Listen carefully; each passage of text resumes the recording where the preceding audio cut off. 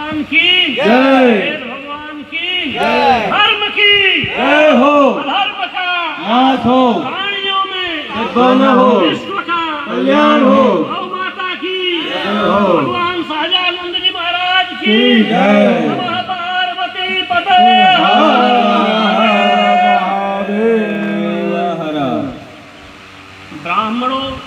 मुखमासित ना पूर्व काल थी। આરંભ થયેલા બ્રાહ્મણોના જે ગૌરવ છે, આ ગૌરવના પાવન પર્વ ઉપર ઉપસ્થિત પરમ આદરણીય શ્રી લાલજી મહારાજ બધા બ્રાહ્મણ મિત્રો ગયેલા સંતો. અને સૌથી મોટી વાત તો એ કે સોમનાથ યુનિવર્સિટીની પરીક્ષાઓ ચાલી રહેલી છે અને આ પરીક્ષાઓના મધ્યમાં આપણી પરીક્ષાઓની તૈયારીને ગેપ આપીને મારા સંસ્કૃત વિદ્યાલયના અધ્યાપકો અને વિદ્યાર્થીઓ અહીંયા સમય આપેલા છે. આ બધાને આપણે ખૂબ ખૂબ અભિનંદન આપીએ અને સાહેબે જેવી રીતે કહ્યા કે બ્રાહ્મણો બ્રાહ્મણો ભેગા થયેલા છે. એવી કટોકટીની પરિસ્થિતિ છે આપણા પ્રદેશમાં. તો પણ એટલા લોકો ભેગા થઈ ગયા એ આપણા માટે ગૌરવની વાત છે. અને જેવી રીતે મુખથી ભોજન કરીએ અને આ મુખ સ્વયં ગ્રહણ કરીને બધા શરીરના બધા અંગોના પાલન કરે છે એવી રીતે બ્રાહ્મણ સમાજના મુખ છે, હું નહીં, વેદ કહે છે, બ્રાહ્મણો છે અમુખમાં સીત. તો અમને, અમે જે કોઈ આપે છે, અથવા કે સમાજથી આપણે લઈએ છીએ, એના બદલામાં આપણે આખા આખા સમાજને, આખા વિશ્વને, આખા દેશને આપણે જ્ઞાન, વૈરાગ્ય, ત્યાગ, તપસ્યા અથવા માનવીય મૂલ્યોના આપણે દાન કરીએ છીએ આપ વિચાર કરો સાહેબ કે જ્યારે આખી દુનિયામાં કશું જ નહીં હતું ત્યારે આપણા બ્રાહ્મણ ઋષિઓએ ઋષાઓના દર્શન કર્યા બ્રાહ્મણ ગ્રંથો આરણ્યકો ઉપનિષદોની રચના રચના નહીં એને જોયા અને એની ઉપર સ્થાપના કરી સ- સૌતસૂત્ર કલ્પસૂત્ર ધર્મસૂત્ર વગેરે સ્મૃતિ ગ્રંથો ને સમાજના સામે લાવ્યા એટલા મોટા પુરાણ વાङ्મયની રચના આ માટે કર્યા કે વેદોના વિચારો સરળ રૂપમાં સમાજમાં પ્રસરિત થઈ શકે. એના માટે પુરાણોની રચના આપણે વ્યાખ્યાયિત રૂપમાં કરીને આખા સમાજને આપ્યા. જો આપણા સમાજમાં જ્યારે આખી દુનિયામાં કશું જ નહીં હતું, ત્યારે રામાયણ ન હોત, મહાભારત ન હોત, ભાગવત ન હોત, ગીતા ન હોત અથવા કે ઉપનિષદ આરણ્ય કે ઋષાઓ ન હોત તો આજે માનવ માનવ નહીં હોત આજે માનવ પશુ થઈ ગયા હોત એ બધી રચનાઓ એ બધા કીર્તિમાનો જે સ્થાપિત કર્યા અને આપણે હજારો હજાર વર્ષની ગુલામીમાં જ્યારે લોકો આપણે વિધર્મી બનાવવા માટે સતત તૈયાર હતા પ્રશાસન ત્યારે આપણે વેદો કંઠસ્થ કરી દીધા એમ થયું કે એ બધું લાઇબ્રેરી બધું પુસ્તકાલયો બાળી નાખશે. ત્યારે મારા બ્રાહ્મણોએ આખા આખા વેદ ન, પાક પસંદિતા નહીં. બ્રાહ્મણ ઉપનિષદ અને આરણ્યક બધું કંઠસ્થ કરી જા- બારો તમે કેટલા લોકોને બારો છો? અને મારા વેદને એ વિદ્વાનો સુરક્ષિત રાખ્યા અને સમાજને મુખની મુખની ભૂમિકા નભાવતા નભાવતા ગામડા ગામડામાં સત્યનારાયણની પોથી લઈને, ભાગવતની પોથી લઈને, રામકથા કરીને કૃષ્ણ કથા કરીને ભગવાન સહજાનંદજી મહારાજે આખી દુનિયામાં આપણી ધર્મ ધ્વજા પ્રસરિત કરી ફેલાવી અને માનવોને માનવ દેવતાઓ જેવા સુરક્ષિત રાખ્યા. ઈ મારા ઈ મારા બ્રાહ્મણોના વર્ચસ્વ છે, બ્રાહ્મણોના કર્તવ્ય છે. બ્રાહ્મણો આ રીતે આપણી જવાબદારી નિભાવી આજે કોઈ કહે છે કે બ્રાહ્મણો બ્રાહ્મણો બહુ કંઈ અર્જિત કરે છે? આપ સાહેબ વિચાર કરો કે ભગવતભાઈ બેસેલા છે, બધા વિદ્વાનો બેસેલા છે. સંકલ્પનો અર્થ જો કોઈ જાણતા હોય, તો સંકલ્પમાં કોઈના પાંચસો એક હજાર એક લઈને બ્રાહ્મણો શું કહે છે? તમારા બધા પાપ હું ગ્રહણ કરું છું. લોક પરલોકના જન્મ જન્માંતરના પાપ હું ગ્રહણ કરું છું. આ દક્ષિણાના બદલામાં બ્રાહ્મણ જ કરી શકે કે એ બધું સ્વીકાર કરતા હોય.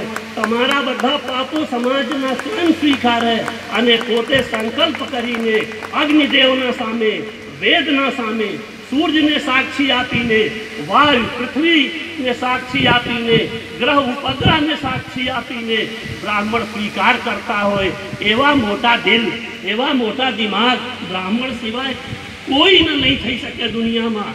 કોઈ જો એમ કહેતા હોય કે નહીં નહીં, એ તો ફક્ત શબ્દોથી છે. તમે વિચાર કરો, કોર્ટમાં ફેસલા શબ્દોથી થાય છે. બહસ વકીલ શબ્દોથી કરે છે અધ્યાપક શબ્દોથી ભણાવે છે. ધર્માચાર્ય શબ્દોથી આશીર્વાદ આપે છે. પછી શબ્દોથી બધા દેવોને સાક્ષી આપીને અમે બધા સ્વીકાર કરીએ છીએ. નાના મોટી, નાની મોટી ઉપલબ્ધિમાં કૃપા કરીને એ બ્રાહ્મણો ઉપર કોઈની કૃપા નથી. એ બ્રાહ્મણોની સમાજ ઉપર કૃપા છે. કે બ્રાહ્મણ એવા મોટા દિલથી, મોટા દિમાગથી ઉદારતાપૂર્વક આપણા મંત્રો દ્વારા બધાના પાપ ના પાપથી મુક્તિના ઉપાય કરે છે એ બ્રાહ્મણોની મહિમા છે. એવા મારા બ્રાહ્મણો, મનુ મનુ મનુ તો રાજા હતા. મનુ કોઈ બ્રાહ્મણ નહીં, મનુ તો રાજા હતા. પણ મનુ સ્મૃતિ જ્યારે લખ્યા અને આ મનુસ્મૃતિમાં પંથી પાવન બ્રાહ્મણોના બ્રાહ્મણોના, કર્મકાંડીઓના તપસ્વીઓની કેવી ચર્ચા કરેલી છે, આ આપણે વાંચી શકે.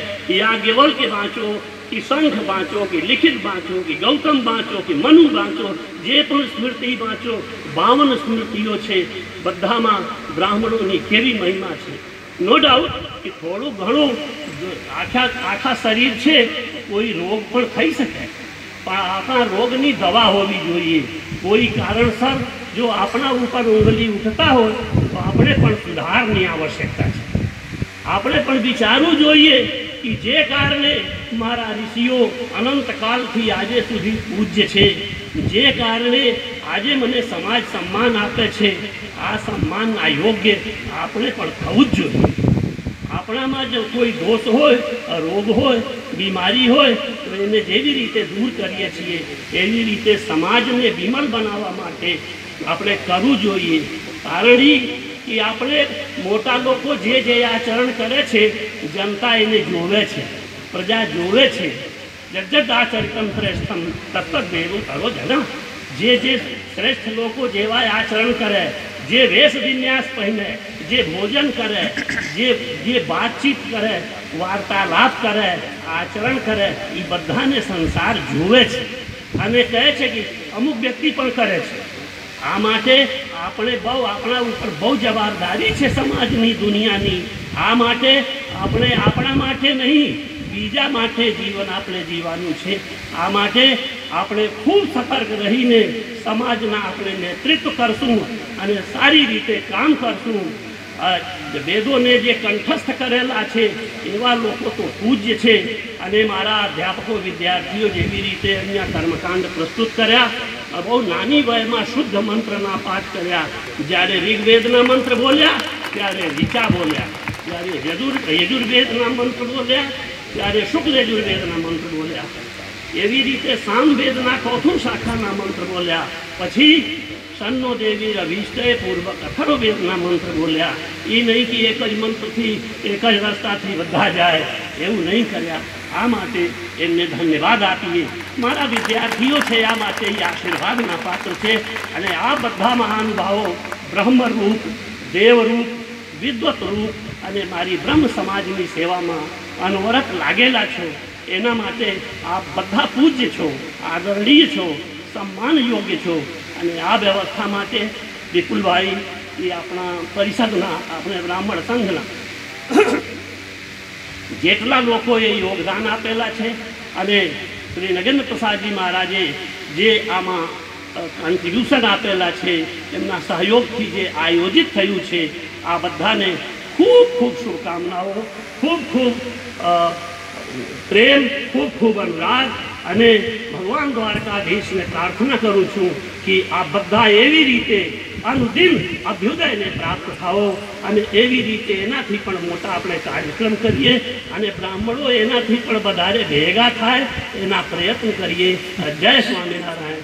જય દ્વારકા. બડે બડાઈ ના કરે બડે ન બોલે, મોલ રહીમન હીરા કબ કહે, લાખ ટકા મેરા